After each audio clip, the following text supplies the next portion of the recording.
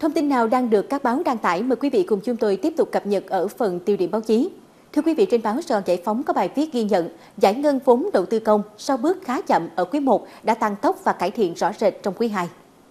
Bài viết dẫn lời các chuyên gia, đầu tư công là động lực chính cho phục hồi và tăng trưởng kinh tế. Do đó, để tăng tốc giải ngân vốn đầu tư công từ nay tới cuối năm, Tổng cục Thống kê đề xuất nhà nước cần tập trung hoàn thiện hệ thống pháp luật, điều chỉnh toàn bộ hoạt động dự án đầu tư công, từ khâu chuẩn bị đầu tư, thực hiện dự án, hoàn thành, quyết toán, bàn giao, đưa vào sử dụng.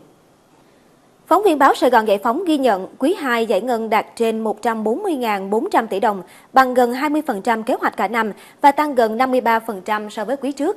Tính chung 6 tháng đầu năm nay, cả nước đã giải ngân vốn đầu tư công trên 232.200 tỷ đồng, bằng 33% kế hoạch năm và tăng 20,5% so với cùng kỳ năm trước. Kết quả này cho thấy sự chỉ đạo quyết liệt của chính phủ, thủ tướng và sự quyết tâm của các bộ ngành địa phương. Ngành du lịch đang ghi nhận nhiều khởi sắc về lượng khách nhưng hoạt động của các hệ thống khách sạn trên cả nước vẫn gặp rất nhiều khó khăn. Báo Việt Nam Net có bài viết khách sạn ồ ạt rao bán dù khách du lịch tăng cao.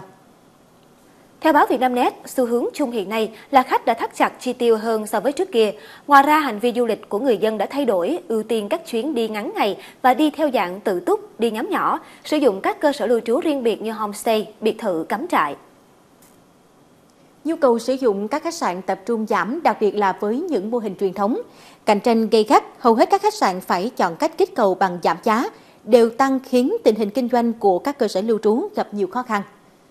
Một làn sóng rao bán khách sạn mạnh nhất lịch sử không chỉ xảy ra tại thành phố Hồ Chí Minh mà đang tiếp diễn tại nhiều trung tâm du lịch trên cả nước. Báo VnExpress.net đang có thông tin, đến cuối tháng 4 năm 2023, tổng tiền gửi của dân cư vào hệ thống ngân hàng đạt 6,33 triệu tỷ đồng, tăng hơn 467.000 tỷ đồng so với cuối năm 2022. Tỷ lệ nghịch với dòng tiền gửi vào ngân hàng, tiền gửi của tổ chức kinh tế giảm. Theo số liệu thống kê mới nhất của Ngân hàng Nhà nước, cuối tháng 4 tiền gửi của các tổ chức kinh tế giảm gần 9.000 tỷ đồng so với cùng kỳ năm 2022. Trao đổi với phóng viên báo VnExpress.net, lãnh đạo Ngân hàng Nhà nước cho biết lượng tiền gửi trong hệ thống các tổ chức tín dụng đang dư thừa. Điều này cho thấy gửi tiết kiệm ngân hàng vẫn đang là sự lựa chọn an toàn hàng đầu với cư dân trong bối cảnh các kênh đầu tư như bất động sản, trái phiếu doanh nghiệp và chứng khoán không còn hấp dẫn như trước. Thưa quý vị, theo các cơ quan chuyên môn, hiện tượng El Nino đã chính thức quay trở lại sau thời gian dài. Một tác động rõ nét của El Nino có thể thấy rõ khi nước ta cũng như các quốc gia khác đã trải qua những tháng ngày nóng nực, khô hạn với hàng loạt kỷ lục mới về nhiệt độ được ghi nhận và tình trạng này được dự báo còn phức tạp trong thời gian tới. Báo Thanh niên đặt câu hỏi Việt Nam sẽ ứng phó với El Nino như thế nào? Và chia sẻ với phóng viên Báo Thanh niên, Phó giáo sư tiến sĩ Lê Anh Tuấn, nguyên Phó Viện trưởng Viện Nghiên cứu Biến đổi Khí hậu Trường Đại học Cần Thơ cho biết, hiện tượng El Nino được dự báo sẽ kéo dài trong 2 năm, nên vụ đông xuân 2024-2025 có thể sẽ có đợt hạn rất nặng.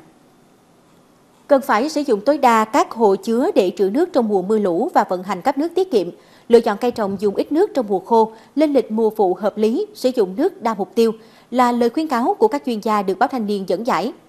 Cũng theo khuyến cáo, các cấp ngành chức năng cần kết hợp sử dụng nước mặt và nước ngầm, ứng dụng khoa học công nghệ trong dự báo, vận hành hồ chứa, công trình thủy lợi, phân phối cấp nước nhằm giảm tối đa các thiệt hại do hạn hán.